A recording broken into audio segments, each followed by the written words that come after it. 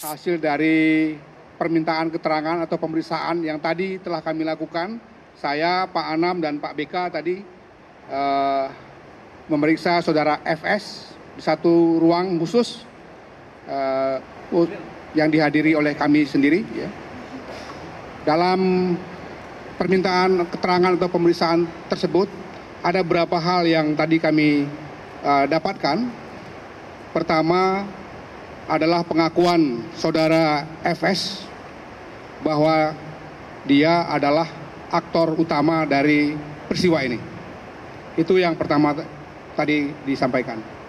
Yang kedua, dia mengakui bahwa sejak awal dialah yang melakukan langkah-langkah untuk merekayasa, mengubah atau mendisinformasi beberapa hal sehingga pada tahap-tahap awal misalnya yang terbangun konstruksi ceritanya atau peristiwanya tembak menembak kan begitu.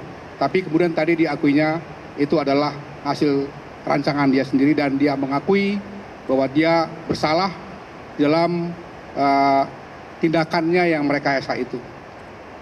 Itu tadi kurang lebih juga disampaikan permohonan maaf kepada semua pihak, ya, termasuk kepada Komnas HAM, kepada masyarakat Indonesia atas tindakannya yang kemudian juga tadi seperti kami sampaikan melakukan langkah-langkah rekayasa. Ya.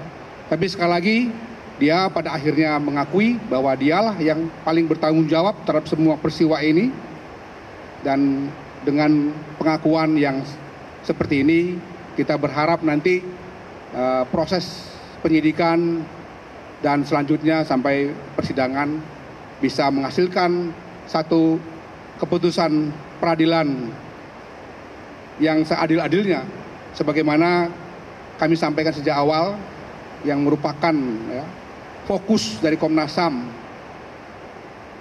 dalam hal ini berlangsungnya satu proses hukum yang fair sehingga semua pihak terutama yang menjadi korban bisa mendapatkan keadilan. Sekali lagi itu yang tadi kita dapatkan atas seluruh pengakuan yang sudah disampaikan kepada kami bertiga tadi di ruang tertutup. Medcom.id, a part of Media Group Network.